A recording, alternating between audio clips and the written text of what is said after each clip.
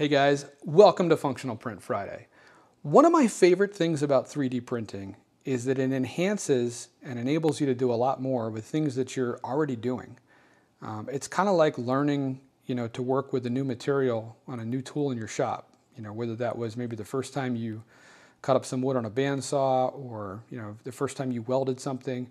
Like it opens up so many different doors as to ways to do things easier, cheaper, faster um, versus how you were doing it before. So whether you were into DIY um, or just general repair work, metalworking, woodworking, um, a lot of different hobbies benefit from 3D printing. Uh, it's just, I love the fact that it just enhances and, and, is, and adds and makes things better um, for so many different things. So I wanted to step through on a recent project, uh, the impact that 3D printing had on my consideration for build versus buy, uh, for the different tools I needed, um, and just in general how it changed my thought process on making some things. So if you've ever put a floating floor in, you might recognize some of the tools on the workbench today. And that is exactly the project that I did uh, at this point back about two years ago. I put a floating floor in a kitchen and I didn't have, it's first floating floor I put in. So I didn't have any of the tools I needed. I didn't know what the process for installing it was. I didn't know what I didn't know, quite frankly. So, but as I dug into it and I read the instructions for the flooring, I realized that at a bare minimum, I'm going to need a tapping block, I'm going to need a spacer block, and I'm going to need some way of installing the last couple rows of flooring when I'm up against a cabinet or up against the wall. So let's step through these. So this is a tapping block. This is made from plastic. This is made from a high density polyethylene. You can see from the label on here, I didn't make this. Um, I thought about it. Uh, you can actually 3D print high density polyethylene. I don't have any. Uh, when I read on the process, it's very difficult uh, to print with. And this is, it's important to note, this is not made from an additive manufacturing process. Um, this is made from a solid sheet of high density polyethylene that has been milled uh, to have these stepped ledges here on it. Um, HDPE is, is a really strong material. It's fairly light uh, for how strong it is. Um, but again, it's not great to 3D print with. I contemplated making this out of PETG and PLA and just seeing how it worked. Um, but I don't think either one of those materials is as durable as HDPE. And at the end of the day, I just wanted to get the project done. I didn't want to make a decision that was going to cause me, you know, pain or, or strife in trying to get the work done or having to make an extra trip since this floor was not getting installed at my primary residence. Um, so I just opted to buy it. This was also 15 bucks. Uh, I would have spent more on a roll of filament, uh, even if I did go the route of trying to make one, and I probably never would have used it again. So this was an easy one. This was buy. Again, 15 bucks, just buy it. By the way, the way this works is, so these two pieces of 2x4 here, let's, let's, let's call these our stand-in for the flooring. Um, the flooring locks together, and it doesn't like snap together. You've, you've got to force it together quite hard to get it to lock together. Uh, so you have your first course installed, you go and install your second course. Uh, basically this, this block sits here and the flooring isn't nearly as thick as this. That's part of what this does is, is uh, transfer the energy down to a much thinner surface. Uh, but you set this guy in place and then you're hitting this with a mallet or a hammer and that, the force of that locks the floor together. Uh, a couple other things to consider. First of all, you don't want to run, if this was our wall over here, you don't want to run the flooring all the way to the wall. It needs some space to the wall. That's where this comes in. This actually sits on the course of flooring just like this. And here, it's probably helpful if I turn this up like this. So you can see what this is doing. Uh, this is sitting on the flooring, your wall's back here. It forces you to have a nice gap there. And you need quite a few of these because you know, your flooring pieces are generally a lot longer. And you can see I've got a whole box full of these guys. Uh, I think I made two dozen of them. Uh, but you can buy these, and they're not overly expensive. They're about a buck fifty uh, a piece to buy. And again, you need probably about two dozen of them for a standard size room. These are 15 cents a piece to, uh, to print. And I didn't even need to design this. Uh, I found this on Thingiverse. Uh, I will put up on the screen the, the page that I grabbed these from, and I'll put a link down in the description if you were looking for these. Uh, so again, you know, one-tenth the cost, and I think you can print 18 of these at a time on like a standard Prusa Mark III. This was a no-brainer. This was a, you know, print. I saved probably 30 bucks uh, printing these guys versus just hitting the order button on Amazon. Other thing you're gonna need is, as you get close to the other wall, so let's let this box be just a kind of a stand-in for the other wall. So let's say this is, I'm putting my last course of flooring in now. So I put this one in. This, I'm installing this one now. I guess I can get the tapping block uh, in place to put this one in, but as I get to this last one, I can't even get the tapping block in there. But how am I to get this locked in place?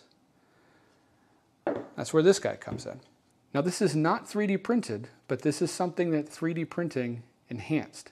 I did make this. The ones that were commercially available to me at the time, um, when I put this flooring uh, in, by the way, it was like the beginning of COVID. Things were really hard to get. Uh, there were ones, in fact, I copied a nice commercial design for one of these that I just, I couldn't get. No one had it in stock. Uh, but the ones that I could get were just a single piece of stamped uh, steel that was, had like a bent edge on this side that went down and then it came up on the other way so you could hit it with a hammer uh, to pull. Problem is, you know, the reviews for them were horrible, just as you would expect after hitting them, you know, probably a dozen times, they bent out of shape and then you couldn't use them anymore. Uh, this I just welded together with a piece, it's a piece of angle iron, piece of flat steel, and then I cut a couple pieces of steel up to make this surface here that you, that you strike. And because you're hitting what is essentially a, you know, a, a box welded to this flat steel, it's very, very strong. This thing, I could probably put floors in for the rest of my life, never wear this tool out. It's overbuilt. However, um, you know, the usage of this, by the way, is so this edge goes down into here. You're striking this face here with a mallet and it pulls the floor over and locks it into place. Well, as you can see, it's sitting on the floor, right? Well, I want to scratch the floor up. So what I did was I designed just a, a slider down here out of TPU. And the reason that you see this type of surface finish is because it's stepped. It's actually designed as such that when you set this on the floor, uh, this slope positions this uh, in just the right spot that it's sitting flush on the, the, uh, the top of the floor. Um, but TPU was a perfect choice here because uh, it's, it's soft enough that you're not gouging up the, the floor with any of the, the, uh, the hard printed edges um, but it's also very, very durable. And you can see I designed this with some countersunk uh, screws in place and some tapped holes here in the, the, the, flat bar stock um, to get this in place.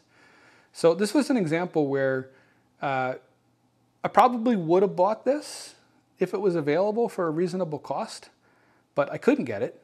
And I actually think my design is better than the ones that are commercially available. The ones that are commercially available, I don't see any type of pad here, uh, any type of slider. It's just a smooth steel surface on the bottom.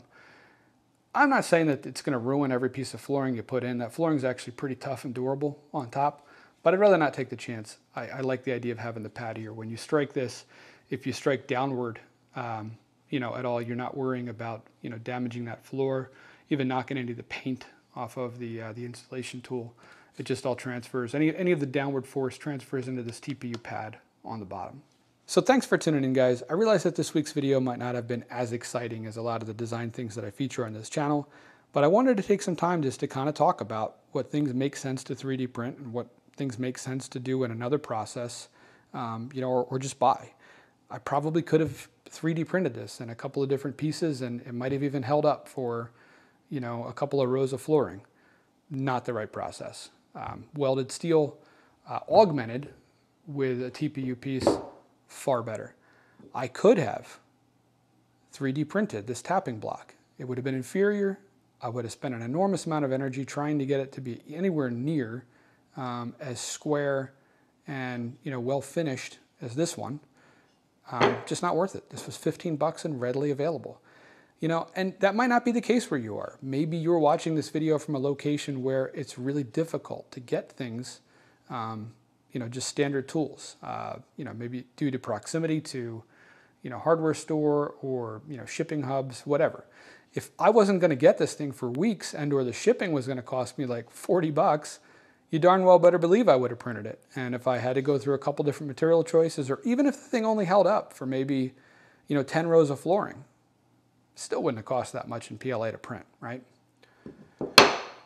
However, this perfect example of I very easily saved 30 bucks 3D printing these with a five minute search on Thingiverse. So guys, if this is your first week here, uh, I do a new video like this every week where I you know, have a featured design that's either my own or someone else's that solves some problem around the shop, around the house. uh, or that just make something better. So if you enjoyed this, please hit that like button. And if you really enjoyed it and you want to see another one of these next week, hit that subscribe button. And guys, if you do, I will see you next Friday.